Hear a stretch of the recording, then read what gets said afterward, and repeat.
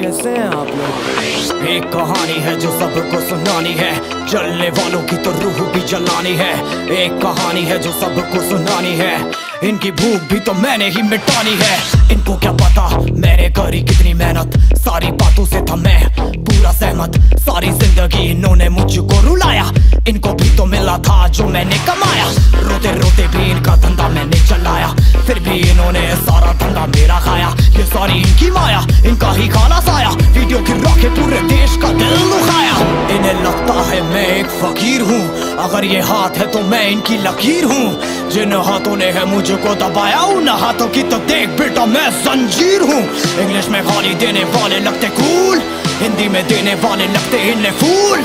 फूल से भरो देख मेरा पुल तो हो गया।